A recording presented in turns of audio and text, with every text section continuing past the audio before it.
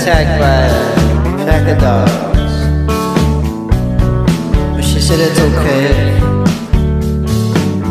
I got some wilderness skills beneath my belt. She said she used to be a part of a scout team. They nearly meet a leader one time. They didn't have enough thread to sew the patches on.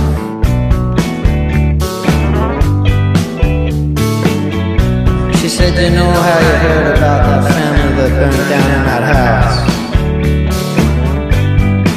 Well, that was her.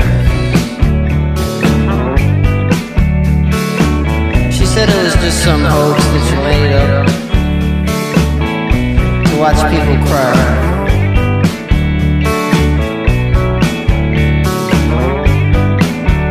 Yeah, she whispered to me softly.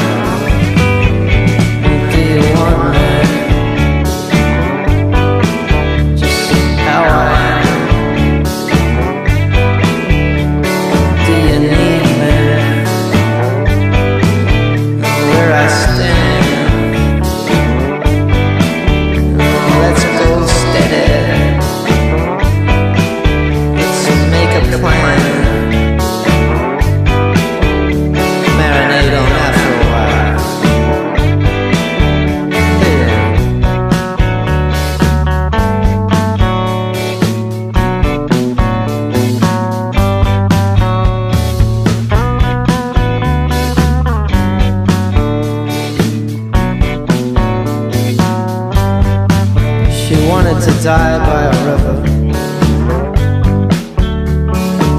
She wanted the tide to come up and drag her away. So that when she's dreaming,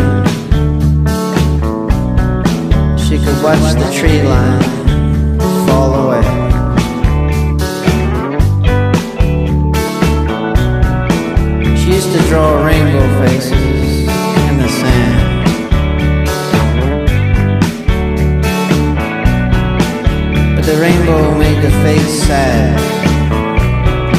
bits of foam coming out the bottom of its mouth.